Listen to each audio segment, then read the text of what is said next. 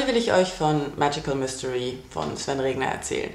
Ähm, auf Deutsch natürlich, weil es ein deutsches Buch ist. Magical Mystery oder die Rückkehr des Karl Schmidt erzählt die Geschichte von Karl Schmidt, den wir aus Herrn Lehmann kennen. Wer Herrn Lehmann gelesen hat, weiß, dass Karl Schmidt kurz vor seiner Ausstellung einen kleinen Zusammenbruch hatte und ins Krankenhaus ging. Magical Mystery ist fünf Jahre später. Er ist aus dem Krankenhaus raus, er wohnt in einer Drogen-WG in Hamburg und ja, muss mal Urlaub machen. Den Urlaub verbringt er mit alten Freunden aus Berlin und zwar den Leuten von Boom Boom Records und geht auf Tour mit einem Haufen Techno-DJs. Und darum geht es in dem Buch. Wir sehen, wie Karl in Hamburg lebt und wie er mit seinen alten Freunden auf Tour geht. Und wie sie mit dem Bus durch Deutschland fahren, um aufzulegen. Ich fand das Buch sehr unterhaltsam. Die Geschichte ist interessant und erinnert an die Raver-Zeiten aus den 90ern.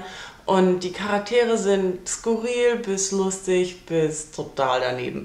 Und Karl Schmidt wir sehen alles aus seinem Blickwinkel. Also sind wir die ganze Zeit in seinem Kopf und wie er damit kämpft, dass er keine Drogen mehr nehmen kann, dass er nicht mehr trinken kann, dass er die ganze Zeit irgendwie die aufkommende Paranoia hat und manchmal auch das dunkle Gefühl.